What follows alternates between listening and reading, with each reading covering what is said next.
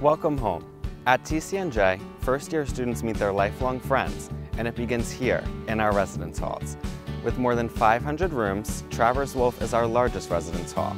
Rooms are furnished, and there's free laundry on every other floor. Other first year students find their fit in Norsworthy, Allen, Brewster, and Ely halls.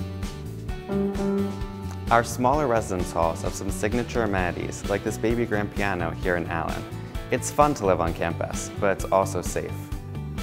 You need an ID for swipe access into the residence halls. We have police on duty 24-7, as well as both blue light and text alert systems.